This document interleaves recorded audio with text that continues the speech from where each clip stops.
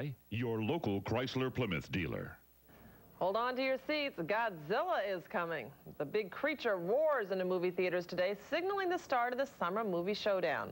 The opening of Godzilla is the biggest in history.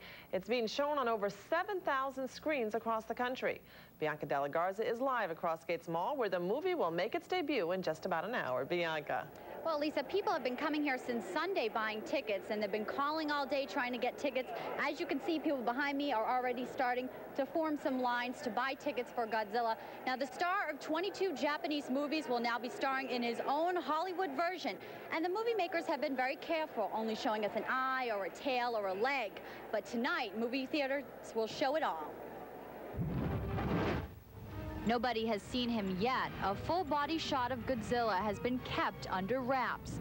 If you dare to catch him on film, well, you might get crushed.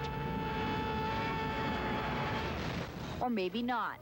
The mystery surrounding his appearance is bringing the curious to the cinema. They really won't let you see anything, so it's like really leading you up to it. It may be the biggest thing to hit theaters this summer, both in size and hype.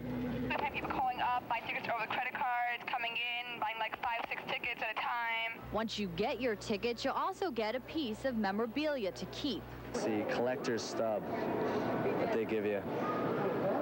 And isn't there like a film thing in there? That's like a, Yep. What do you think of that? Um, it's just, they're just charging me more money, basically, for a little souvenir.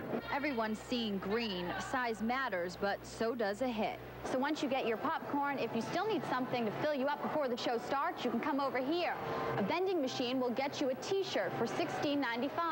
You can sport that to the first screening. I'd like to get um, two tickets for the 9:30 Godzilla. Two tickets? Sure. And if you miss the first screening, don't worry, there's eight more. That's right, take a look. Nine screenings, about one every half an hour, some every 15 minutes. They go on all the way, you can see, until 9.30. There's a 10 o'clock and a 10.45. Now, there's about 4,000 seats in, in total for everyone who comes here tonight who wants to catch Godzilla. Now, just to let you know, it's showing on six screens. Now, when Titanic opened, it was only showing on three. So they are expecting big crowds for this. We're live from Hoyt Cinema at Crossgates Mall. Bianca de la Garza, News 10. All right, thank you very much. Are you going in now? No, I have to work, Elisa, Oh. but I'll hear from the people who come out what they think about it. All right, we'll find out. Thanks a lot, Bianca.